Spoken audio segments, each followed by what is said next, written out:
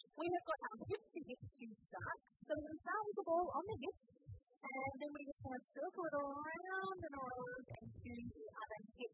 So it's a nice big circular smooth motion right around to the side.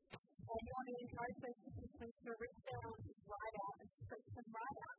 Do that, oh, hopefully awkwardly lean back too much.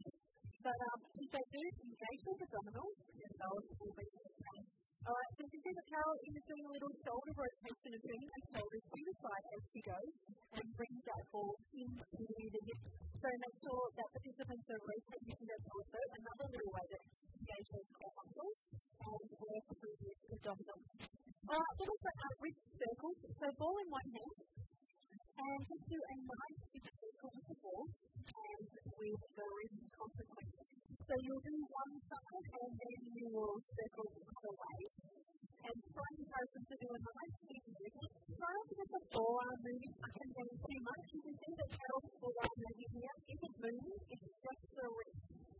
sort of see people just moving the whole. Try and encourage them that just to identify and isolate those wrist muscles and get them doing their work. Is a good one to the mobility and flexibility of the wrist.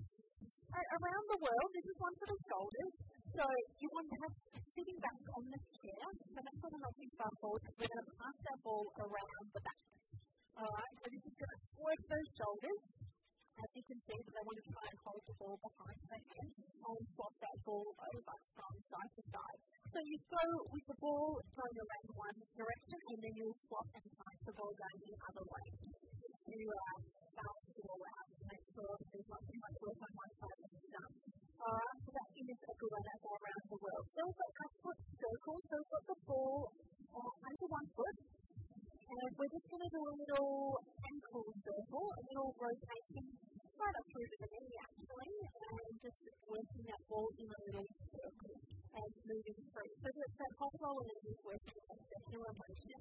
And again, just a little gentle press down on the ball when you're doing it. So you get control of the ball and go into clockwise one way, and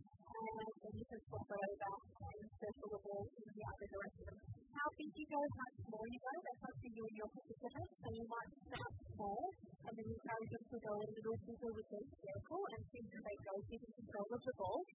Otherwise, it's keep it small, and hopefully they won't have to get up off their and run after that ball, which does happen a little bit with this one. Um, knees to neck, we are going to keep the ball on the knees and then take it up and over and hit the back of the neck. Again, this is a great one for shoulder flexibility, so we really want to encourage them to reach right up and then right over the back. You might find that they go up to here and then the elbows drop forward and they sort of come in here bit awkwardly.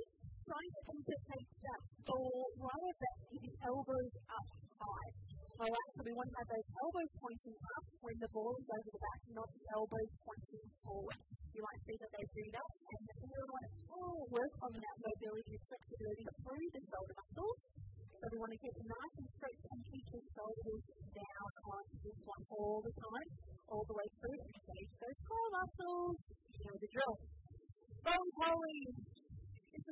Uh, whenever I hold a ball, I'll often end up just doing this uh, and just a little rolling poly is a good one just to keep control of that ball. They can take it slowly or pick up the pace couple of You can do it forward and you can do it backwards. So this is another good little relaxed one that can do a bit of fun. Shoulders down on this one. Alright, then we've got an elbow circle. So we're going to press that ball into the elbow and to just circle that elbow nice and deep and right back behind the body. So you don't to press on the ball, you don't have to grip it too hard and squeeze it. Just hold it in there and then circle that elbow right back behind. And again, you can go backwards and then you can reverse the direction and bring it forward. So allow little movement through the shoulders, through the torso as you're doing that. But make sure it's not too much. You'll know when it's quite right. Going on and they're not working those shoulder muscles as they should. So then one side and then the other. Alright, then we've got our the butler. A little bit of fun. We want to keep the palm flat on this one. And we're just going to move that ball around. We might be serving a tall person, and then we might be serving a shorter person, a child, over here to the left and to the right. Just try and keep a balance on that ball. And be just moving up and down. You might be serving drinks to a whole room full of people. And maybe as an instructor, you can call out what kind of person you are serving, or if they're up high in the kitchen, or if they've got to get the tray from down low, and just your participants to follow around with where those drinks are going try to make sure that they're not gripping the ball, they're just holding the ball flat. It's really uh, extra challenge to balance that ball and to keep Alright, they are some of our ball exercises that hopefully will keep your class entertained. So lots of fun and games can be had with the ball. And we hope that you can introduce lots of those games and fun into your classes. And we look